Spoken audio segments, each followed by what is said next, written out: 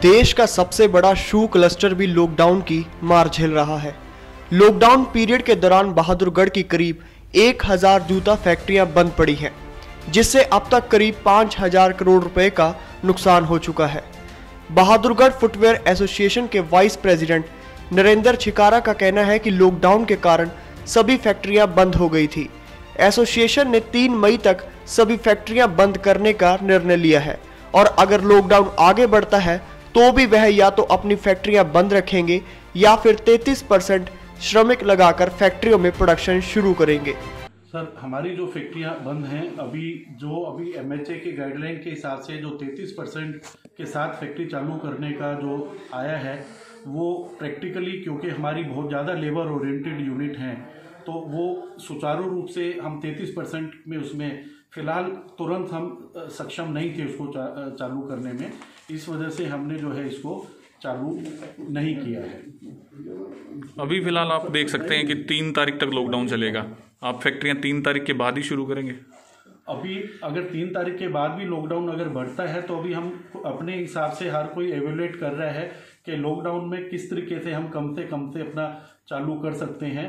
अगर तीन तारीख के बाद भी लॉकडाउन बढ़ता है तो शायद हमारी मजबूरी होगी कि हमें फिर भी बहुत कम ही यूनिट है जो चल पाएँगी सारी फिर भी नहीं चल पाएँगी। डिमांड सप्लाई और टर्नओवर की बात की जाए तो वो कितना था आपका?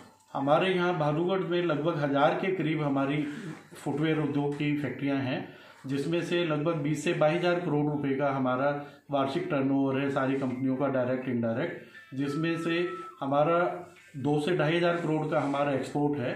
और हमारा लगभग पाँच से छः हज़ार करोड़ रुपए का अभी तक जो है हमारा नुकसान हो चुका है। कितने जो वर्कर हैं यहाँ पर काम करते हैं? हमारे यहाँ पर लगभग डायरेक्ट इनडायरेक्ट जो फुटवेयर उद्योग से जुड़े हुए हैं लगभग दो लाख के करीब यहाँ वर्कर हैं। औद्योगिक नगर बहादुरगढ़ देश का सबसे बड़ा शू क्लस्टर है। देश के अधिकांश नॉन लेदर जूतों का निर्माण बहादुरगढ़ में किया जाता है। यहाँ जूता बनाने वाली एक हज़ार से ज़्यादा फैक्ट्रियाँ हैं। इन फैक्ट्रियों में दो लाख से ज़्यादा श्रमिक अलग अलग शिफ्टों में काम करते थे। लेकिन लॉकडाउन के कारण यहाँ फैक्ट्रियाँ बंद पड़ी हैं। वही फैक्ट्री मालक सचिन ने भी सरकार के उद्योगों को हो रहे भारी नुकसान से बचाने की गुहार लगाई है। पहले हम डिमांड करते हैं लेबर के मुतलिक क्योंकि हमारी इंडस्ट्री में लेबर कॉस्ट जो है पच्चीस से तीस percent of total cost of production है।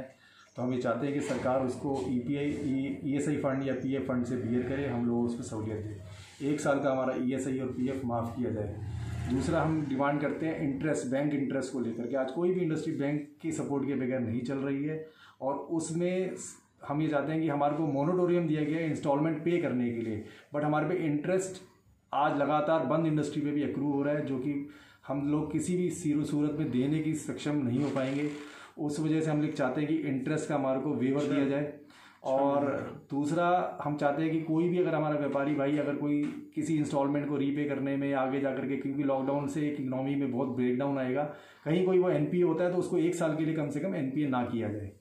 तीसरी हम डिमांड करते हैं बिजली के बिलों को लेकर के जिसमें हम चाहते हैं मिनिमम हमारे चार्जेस माफ़ किए जाएँ जो हम आज बंद इंडस्ट्री में मिनिमम बिजली के चार्जेस वहन कर रहे हैं वो हमारा माफ़ किया जाए।